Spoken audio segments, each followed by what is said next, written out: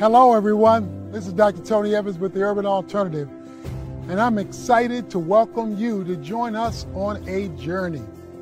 A journey through Hebrews 11. It's known as the Hall of Faith, where men and women discovered what God can do when God's people learn to live, walk, and act by faith.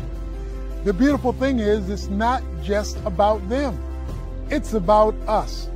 As the author of Hebrews writes to New Testament believers, that's who we are, about how the lives of Old Testament saints who learned to live by faith should challenge and affect our lives as we live by faith.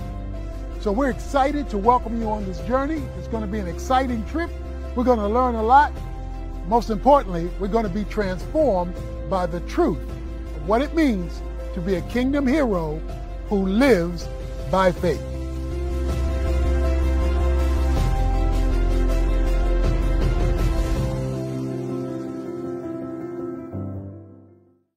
Today, we're going to talk about the leading candidate of faith in the Bible. If I were to use football language, you would call this guy a beast. Because when it came to faith, he is the creme de la creme. He is the, he is the superstar. He is the most valuable faith person. In fact, when the Bible wants to talk about faith, he is a constant illustration of it. Hebrews chapter 4 and the book of Galatians chapter 3 keeps talking about this guy.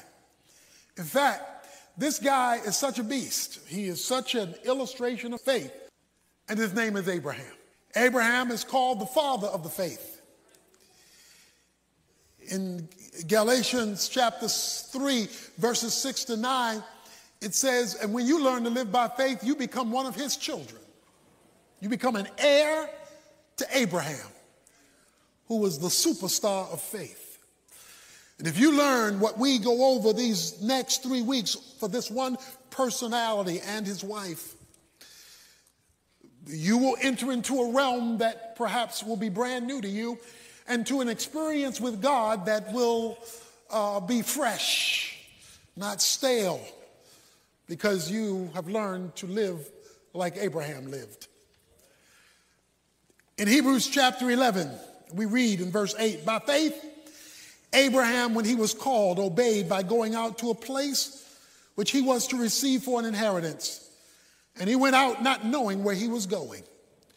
By faith, he lived in an alien, as an alien in the land of promise, as in a foreign land, dwelling in tents with Isaac and Jacob, fellow heirs of the same promise. For he was looking for the city which has foundations, whose architect and builder is God. We're going to learn three things about Abraham today and his walk of faith. That if you want to experience God at a whole new level by faith, it will involve a leaving, a living, and a looking. If you want to experience God as you've never experienced Him before, as you move by faith, it will involve a leaving, a living, and a looking. Let's start with the leaving. Because verse 8 tells us by faith, when he was called, he obeyed by going out to a place. Now, this is described for us in Genesis chapter 12, chapter 13, when God told Abraham, I want you to leave your city, your community, your house, and even your people. And I want you to go to a place that I'm not going to tell you about yet said he didn't know where he was going. All he knew is God told him to leave without knowing where God was taking him. Why is God telling him to leave Ur of the Chaldees? Why is God telling him to, to move away from family and friends and the things he grew up with? Well, to understand that, you have to understand chapter 11, the chapter that precedes God calling him. In chapter 11, the whole world has rebelled against God. A man named Nimrod, uh, an African that you shouldn't be proud of, led the whole world in rebellion against God. The Tower of Babel established the religion of humanism, man centered religion. It says that they gathered together as one people to build a civilization, and right in the center of the city, they built a tower that is a ziggurat, that is a worship steeple.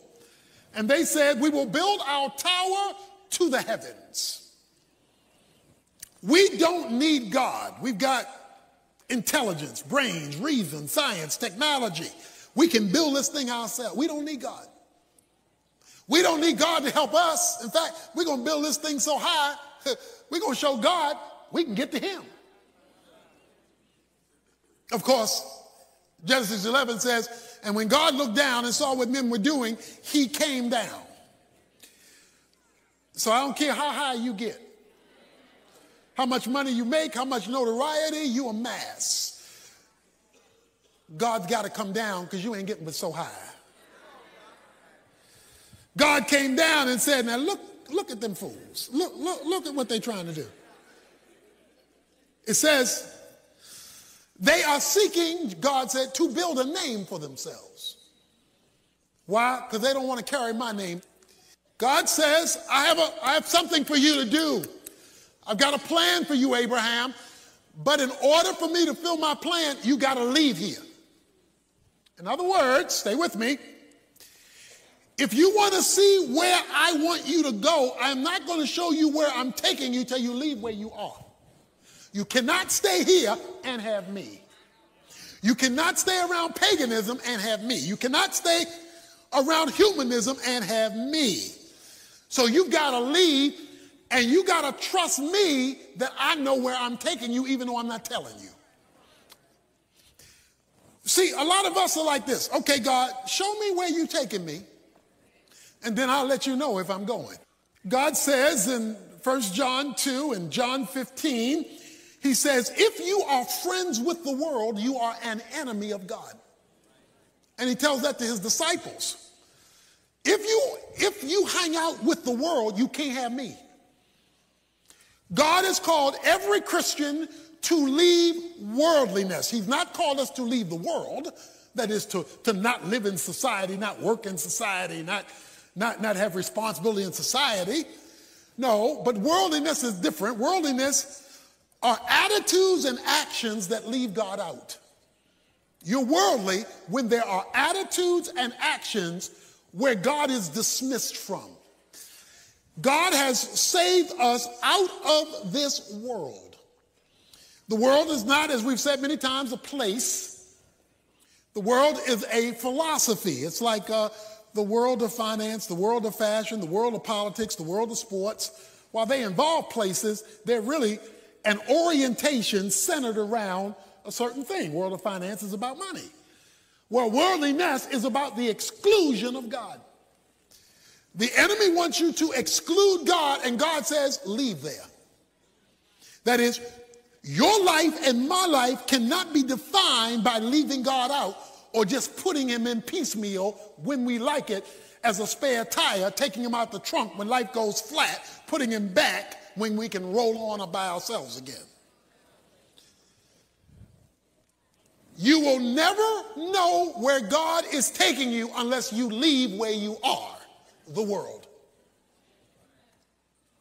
You will never find out. He will, he will never show you what motivated him to leave. God said, I have an inheritance for you. Says he left to get his inheritance. An inheritance is like a will, it's something bequeathed to you. God has something for every believer here. If you are a Christian, he has a purpose that he wants you to fulfill. But he will not show you your destiny if he can't leave, get you to leave the world. As long as you're hanging on to the world, you're at enmity against God. God cannot communicate with you. So you won't hear heaven talk. You won't get answered prayers. You won't get direction. You'll be aimless because your affections are not with him, they are elsewhere. You visit him on occasion, but you live with affections and actions that leave him out. In fact, one of the ways you know you're growing as a Christian is when your passion for the world is dying and your passion for Him is growing. If you're loving the world more than Him, that's because the world has your affections, it has your passions, it, it, it has grabbed you. So he says, You must leave this paganism that doesn't include me without me giving you all the details. You're going to have to walk by faith and believe I know where I'm taking you. The problem was, or is, that that's where he was born. That's where he grew up. That's where all his people are. That's where his businesses were. The Bible says he was a filthy rich guy. That's where all of his activities were. So it's hard to leave something you've grown up in. Because that's that, that informs your frame of thinking. But it says, when he heard the voice of God, he obeyed and left because his inheritance was more important than his current location. So here's the decision we have to make. That is, if you really want to experience God, is what God has for you more important than where you are? Do you love the world so much you're willing to lose your destiny? Because God knows where He wants to take you, but you must be willing to leave, say goodbye. Because God knows where He wants to take you, but you must be willing to leave, say goodbye. Some of you are going to battle because you're going to have to say goodbye to that worldly relationship that's keeping you from your destiny. You may have to say goodbye to that, that worldly scenario where the guys are going out after work and they, they, they talk in smut. You find yourself comfortable there and you don't want to lose a friendship. And we're not talking about being antisocial. We are talking about saying that that does not fit where I'm trying to go. And so because that doesn't fit where I'm trying to go and I want to get to where God's taking me, I'm willing to make, I'm willing to leave. It's going to be hard to leave, but, but I'm willing to leave because you can keep yourself from ever hearing the voice of God if you stay in the world. There, that system that leaves God out. Hebrews 13 13 says, You must go outside of the camp where Jesus is. Jesus died outside of Jerusalem. Jerusalem was where Judaism was. He went outside the camp and died. It says, You can't stay in just a religious environment and not be willing to be identified with Jesus Christ and bear his reproach and expect to hear from God. You have to go outside the camp. That is, you, you, you, you can't be just part of the system. He based his life on a promise. Unless you leave the old, you will never discover what God has for you in the new. So the question is, what do you want? Do you want him or you want to hang out where you are and not have him? Because he will never coalesce with the world. James 4. He won't do that. So the first thing you need to know is that your life of faith will require a leaving of worldliness, desires and actions that are in conflict with God. Secondly, your life of faith from the superstar of faith will involve a living, a leaving and then a living. Notice this, verse 9. By faith he lived, see that? By faith he lived as an alien in the land of promise, as in a foreign land, dwelling in tents with Isaac and Jacob, fellow heirs of the same promise. Wow. He left and then he lived. Now, watch this. It says, He lived in the land of promise as a foreigner and an alien. Wait a minute now. Wait a minute now. Watch this now. He left. He left Ur of the Chaldees, paganism. He is now in the land God is promising him. Okay, God promised him a land. But in the land that he's now in and living in, he's living as an alien and a foreigner in the middle of a promise. Some of us are in God's waiting room. And there's probably no greater discipline in the Christian life, no harder discipline than waiting. God, how long is this going to take?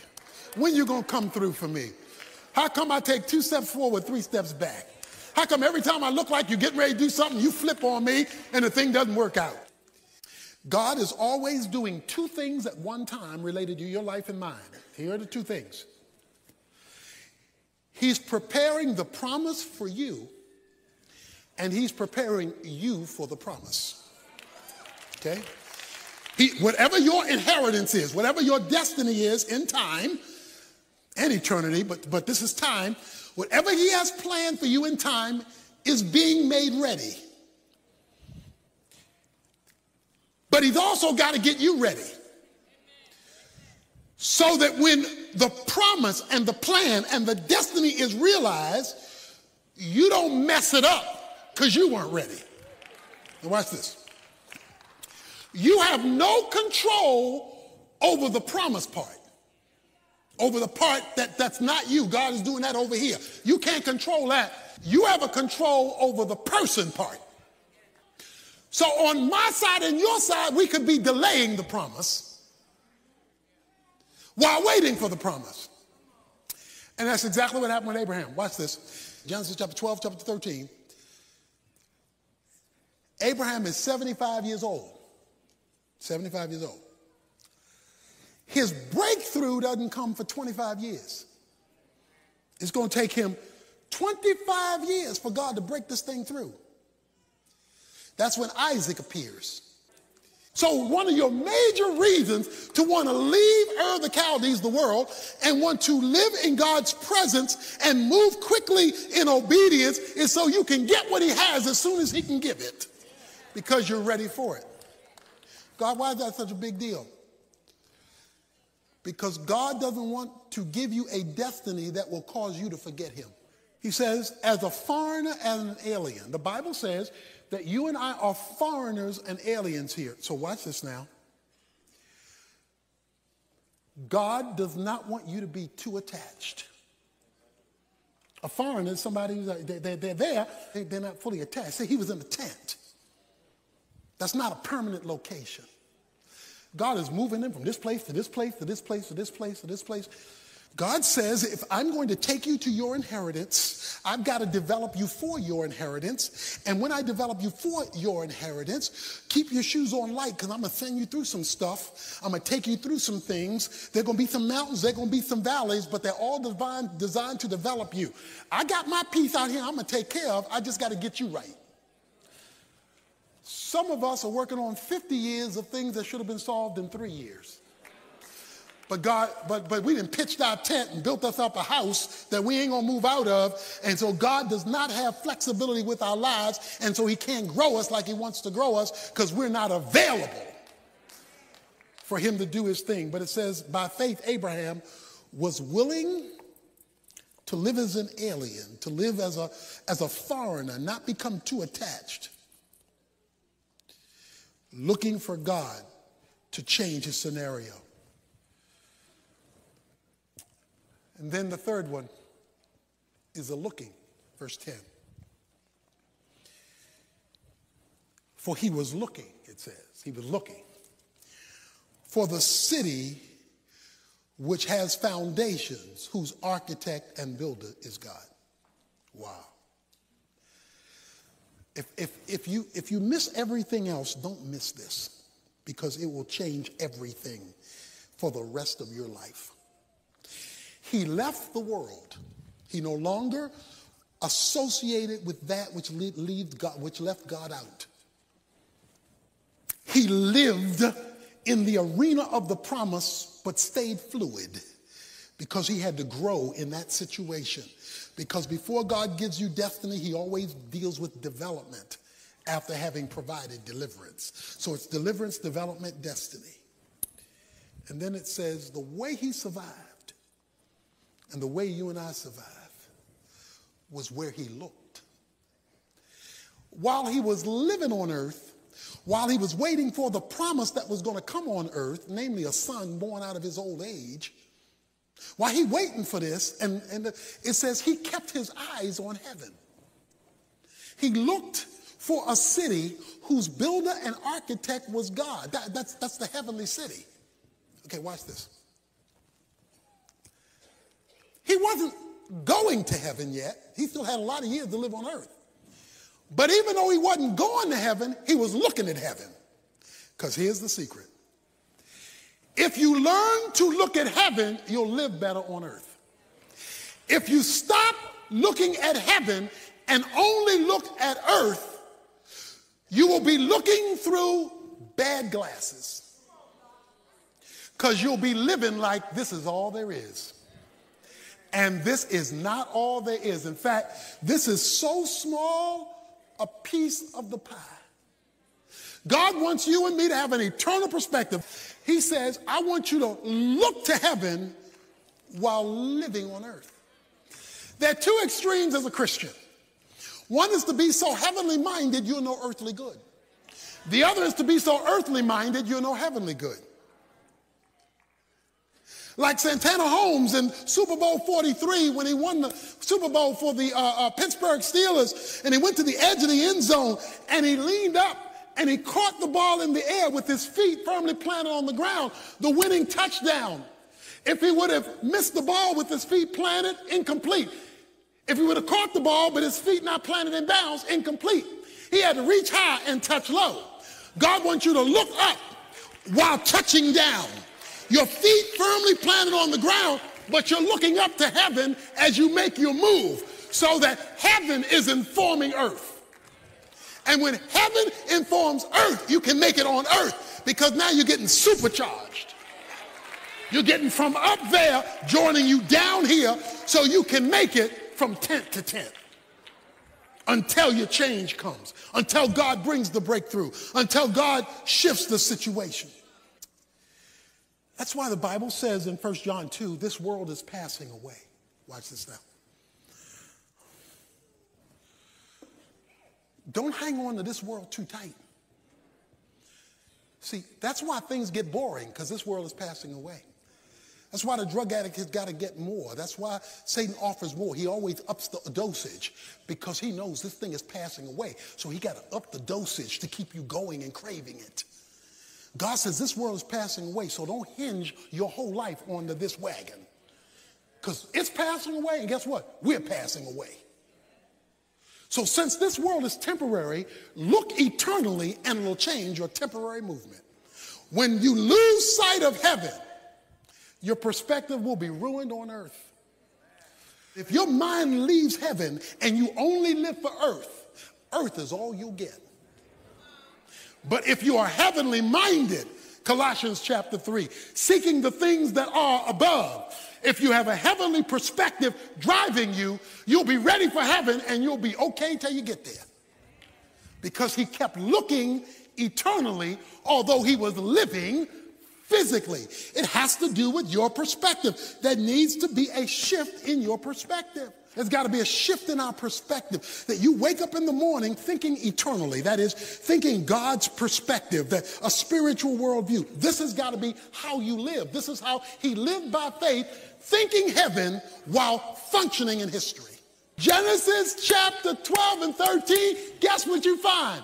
Over and over and over again, when it tells the story of Abraham in Genesis 12 and 13, it says everywhere he went, he built an altar.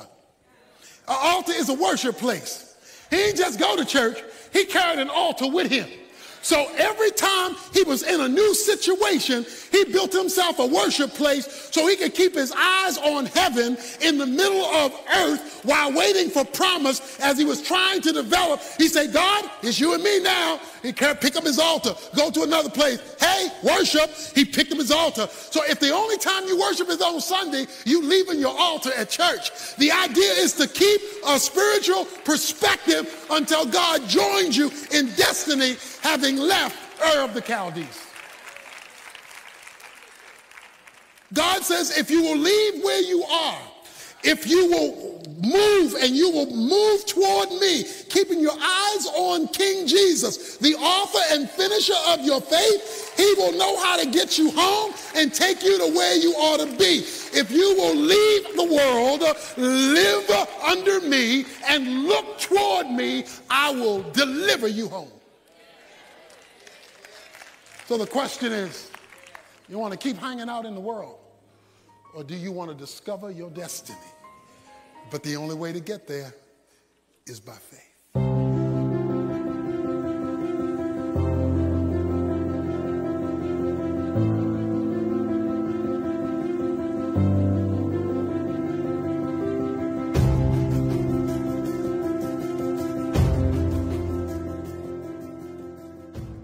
Life is not an event, it's a journey.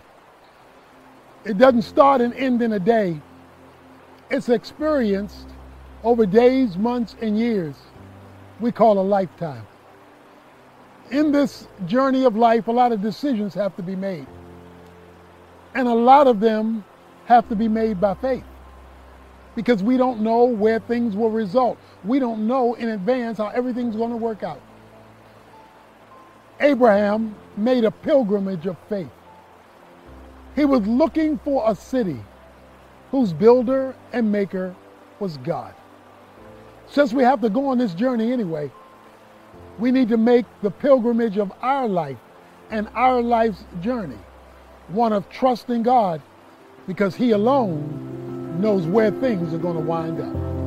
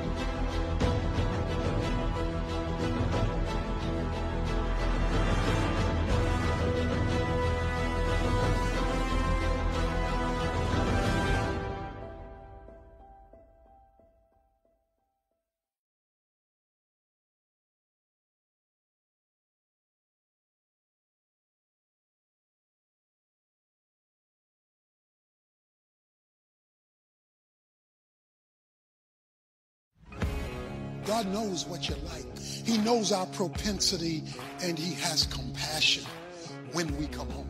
Come back home as quickly as possible. Though your sins be as scarlet, they shall be white as snow. Though they be red like crimson, they shall be as wool.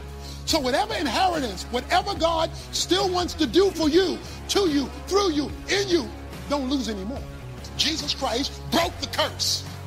So don't ever talk about you being cursed again if you know Jesus Christ. The curse, the consequence of the law is broken. The greatest miracle of all is when you dip yourself in the blood of Jesus Christ for the forgiveness of sins and the gift of eternal life. How many of you like puzzles? Anybody like putting together puzzles? Okay. Well, today we're going to have a puzzle. And we're going to see the protrusions and the indentations of this puzzle come together to address the issue of irreversible consequences. Can they be reversed? Is there the possibility that things could be different although they look like they can't be? Gehazi is Elisha's servant. Elisha has just instructed Naaman how to be healed seven times in the Jordan.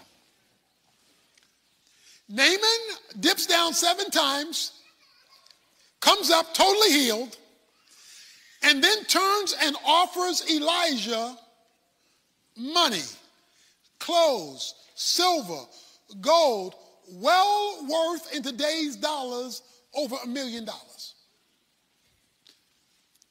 Naaman says, Elisha, because you gave me the secret to this healing, I'm going to make you a millionaire. In verse 16, Elisha turns him down. I can't take your money. I can't take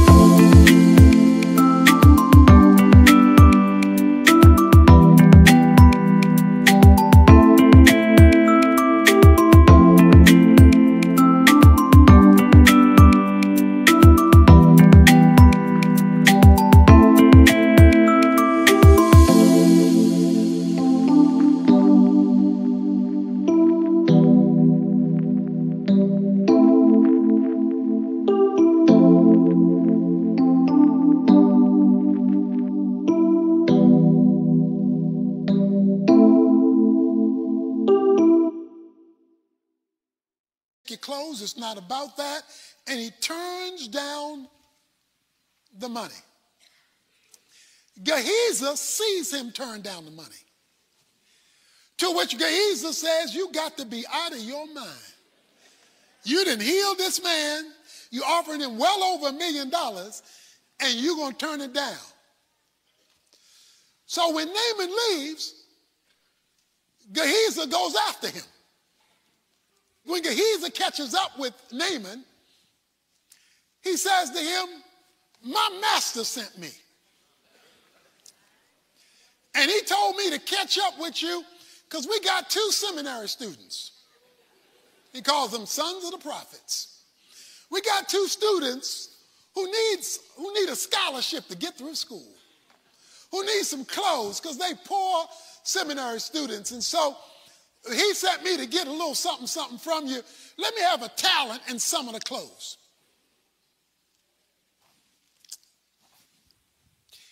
So before I get any further, let me tell you what's going on now. The Bible calls it the sin of covetousness. Covetousness is desiring and plotting to take something that is not yours to have. That's covetousness. A synonym for it is greed. Going after something that is not legitimate for you to have in an illegitimate way. Colossians 3:5 calls covetousness idolatry. It is the worship of another God because you don't believe your God is the source, so you go to an illegitimate means to get it. Covetousness. Jesus said in Luke chapter 12 about the covetous man. You don't have to turn there. He said, Be aware of every form of greed. It comes in different shapes and different forms. And you know you're a covetous person when you plot to get something you're not authorized to have in an illegitimate way through deception. He says, Elijah sent me. Elijah didn't send him anywhere. Not only that, but there was a fundamental mistake that Gehazi made. He said, Elijah sent me.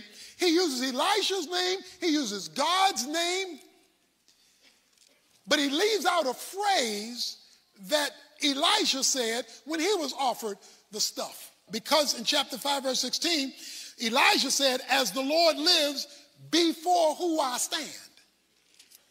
Before who I stand, it means to whom I'm accountable. In other words, Elijah knew he was not just accountable to other folk, he was accountable to God. And God would see what he was doing, even if no man saw it. So Gehazi says, Elijah sent me, and as God lives, but not before whom I stand. He lost sight of a divine accountability. So he comes and he says, Show me the money. I got some seminary students here. Elijah sent me to help. Naaman is glad to oblige. So Naaman goes, and Naaman uh, and hands it to Gehazi, two talents, some clothes. Gehazi goes, takes it to his house, and hides it. He then goes to Elijah, and Elijah says, Where you been? Jesus says, I ain't been nowhere. Elijah says, Did not my heart go with you? When you went to Naaman, and when you connived to get this, how you know this? Elijah has scoped him out. And this is what Elijah tells him. Therefore, verse 27, the leprosy of Naaman shall cling to you and to your descendants forever. So he went out of his presence a leper, as white as snow. Let's look at the consequences of his decision. Consequence number one a personal curse, leprosy. And it was incurable and unreversible. According to Leviticus chapter 13, verses 45 and 46, when you got leprosy, you now had to move outside the camp because it was contagious. So you would, you would, you could, you could give somebody else leprosy, and there was no way to fix it. It was irreversible, as we saw last week, uncurable.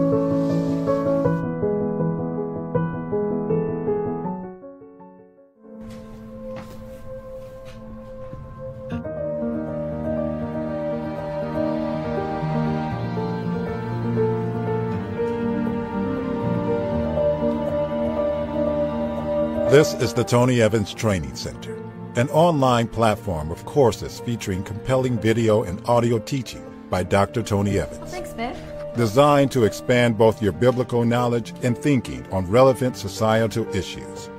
These courses challenge and build leaders who speak out in love. Welcome to our course. Our mobile app allows you to stay connected to videos, audio, and reading material, and gives you the ability to interact with other students. This is on the go learning in community. Whether you have time for a deep dive or bite sized learning, Have a good run, babe. these courses can go where you go at your speed. Our oneness in Christ can make all the difference in the world. Life is busy, but Bible study is still possible. The Tony Evans Training Center. Explore the kingdom anytime, anywhere. Perhaps there's somebody here today who feels like you're living under a curse. This thing won't go away. It's affected every area of your life. There's no cure. You are a leper. No solution. But not only that, he says, You shall be a leper and your descendants. Not only that, he tells them it'll never change forever. Let's fast forward to chapter 8, verse 1. Now Elijah spoke to the woman whose son he had restored to life, saying, Arise and go with your household and sojourn wherever you can sojourn, for the Lord has called for a famine, and it will even come on the land for seven years. So the woman arose and did according to the word of the man of God, and she went with her household and sojourned in the land of the Philistine seven years. At the end of seven years, the woman returned from the land of the Philistines, and she went out to appeal to the king for her house and for her field. Now the king was talking with Gehazi, the servant of the man of God, saying, Please relate to me all the great things that Elisha has done. As he was relating to the king how he had restored to life the one who was dead, behold, the woman whose son he had restored to life appeared to the king for her house and for her field. And Gehazi said, My lord, O king, this is the woman, and this is her son, whom Elijah restored to life. When the king asked the woman, she related to him. So the king appointed for her a certain officer, saying, Restore all that was hers and all the produce of the field from the day that she left the land, even until now. I got a question. What in the world is Gehazi doing in the palace? What is he doing in the palace? This boy is a leper. Leviticus chapter 13, verse 44 and 45 says lepers have to be segregated from the congregation. But now he's talking to the king. And if you're going to protect anybody, it's going to be the king. Not only is he talking to the king, he is a liaison between Elijah and the king because he now has a job. He's still called the servant of Elijah. So he's standing between Elijah and the king when he's been condemned to be outside due to leprosy. Well, come on now. I need some more pieces to this puzzle because chapter 5 and chapter 8 don't make sense. Enter a woman a woman whose son had been raised from the dead.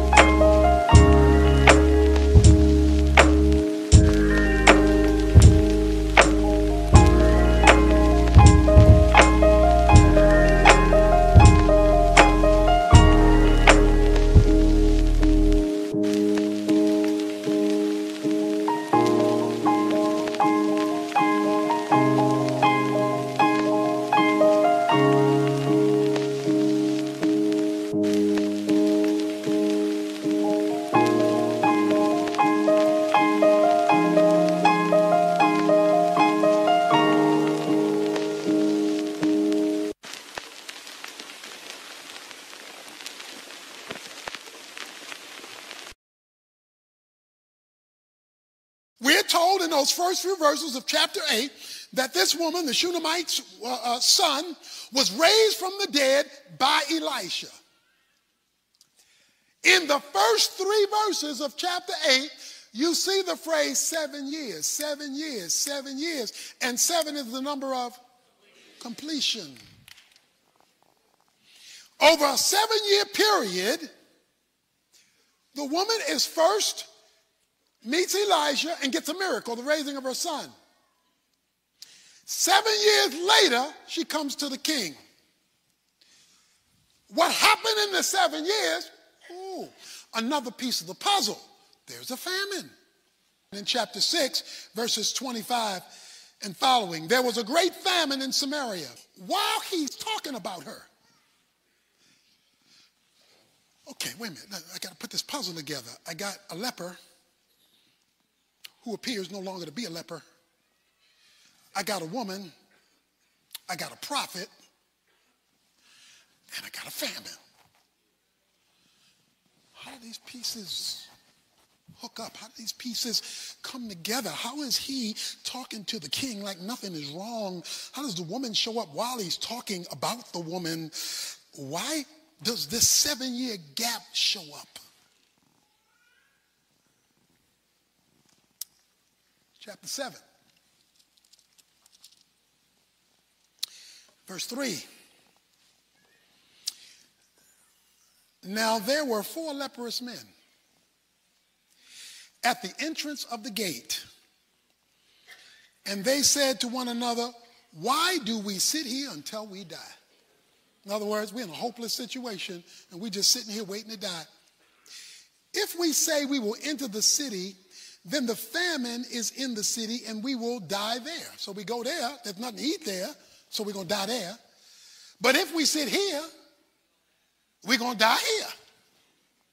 So we are dead men regardless.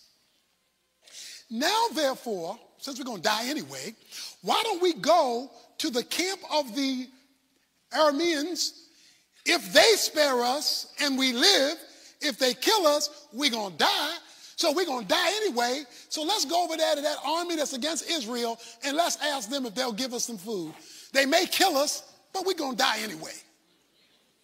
We're in a catch 22 that's unfixable. So they arise at twilight and they go into the camp because the camp has food. This is the enemy of Israel and they're keeping food from Israel. Verse 6 for the Lord had caused the army of the Arameans to hear a sound of chariots and a sound of horses, even the sound of a great army. So they said to one another, Behold, the king of Israel has hired against us kings of the Hittites and kings of the Egyptians to come against us. Therefore they arose and fled in the twilight. When they took a chance, they discovered God had already gotten rid of the problem. If they would have stayed outside and done nothing, they would have never discovered what God had already done. He had already scared the Aramean army so that they fled.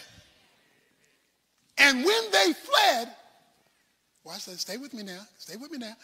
When they fled, they left all that stuff behind.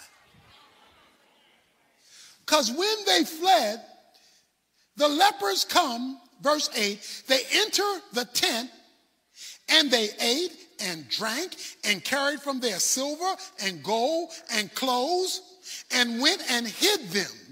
And they returned and entered another tent and carried from there also and went and hid them. Verse 9. Then they said to one another, stay with me here, we are not doing right this day is a day of good news, but we are keeping silent.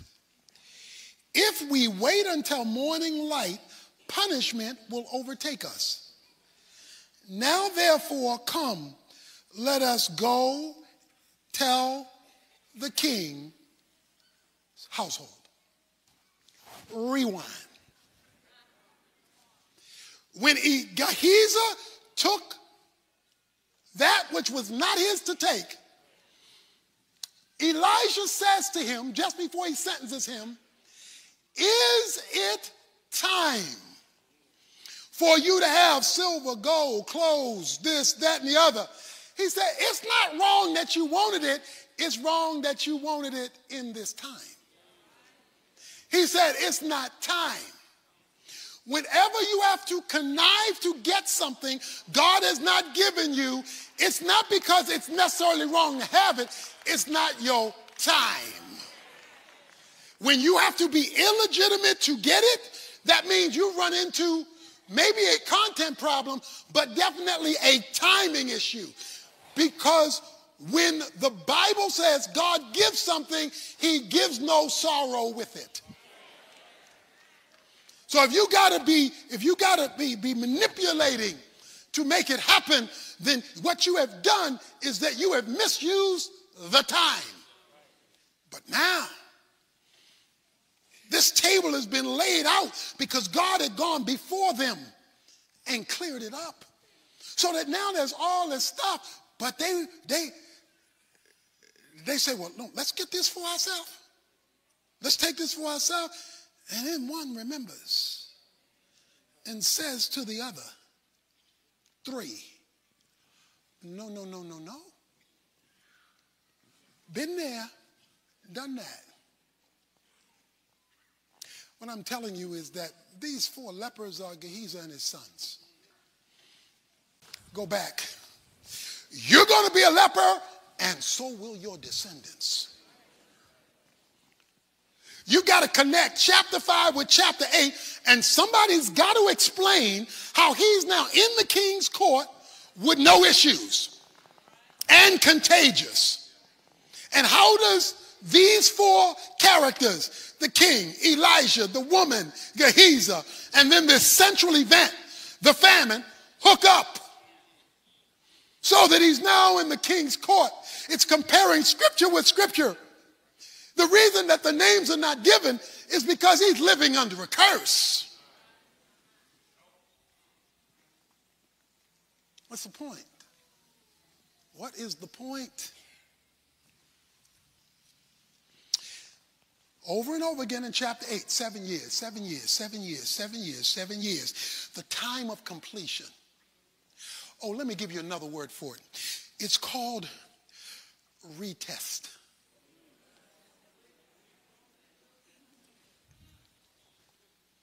A retest is when God creates the exact same situation or a similar situation to it to see whether you learned your lesson called a retest. You know the one thing I loved in school about retest? That means the teacher was giving me another chance. It does not change my previous grade, but it gives me hope for a better tomorrow because it's a retest. Notice it's the exact same situation with the exact same stuff silver, gold, money, clothes. He says the problem, Gehazi, is it's not time. Meaning, another time, it will be time. But it's not time now. He gives him a retest. If you are in an un or irreversible situation, you ask God for a retest. Lord, give me another opportunity to take the exam again. And God will test and retest and retest again, then a retest on top of the retest until you get the message, till I get the message, till we get the message. While Elijah prophesies at the end of the seven years that the drought's getting ready to end. The drought's getting ready to be over. He prophesies that, that it's coming to a conclusion.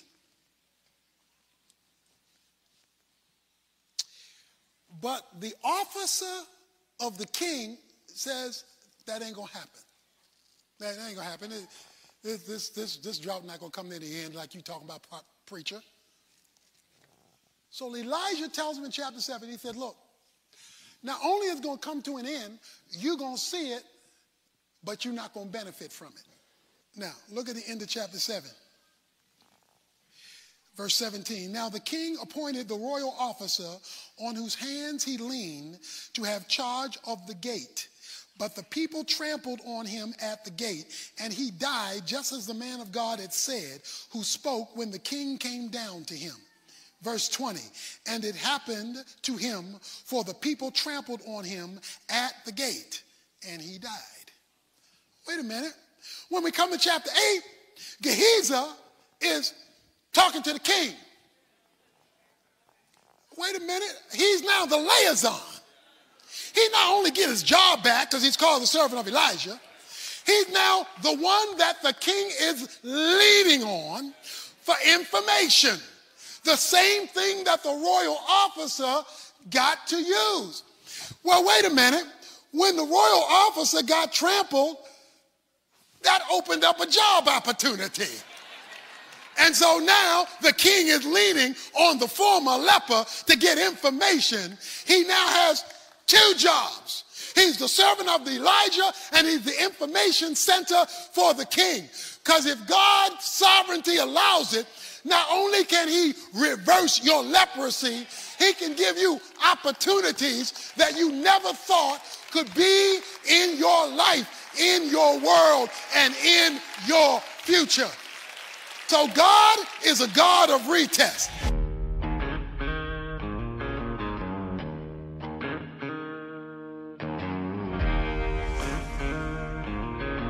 Have you ever felt like you've run out of options? your get up and go has gotten up and gone and you know you you look through the tunnel and it's all dark except for the oncoming train coming your way. Hope is gone. You're throwing in the towel. You resigned. It'll never get better. I've got good news. In spite of how bad it looks, in spite of how bad you were, to bring it to the point it's at now, the sins, the mistakes, the failures, the rebellion, and um, you don't even know how to spell the word hope anymore? You've really set yourself up for God to do um, a reversal. He has a boomerang principle that he loves to operate with his children. When you look like you've gone way out of the way, he knows how to turn that thing around and bring it back and change your situation. I know it right now looks like there's no way out. I know it looks like right now for many that you've been consigned to a life of rejection, of failure, and it's unrecoverable. That's where God does some of his best work. That's where God literally changes his mind when we change our direction.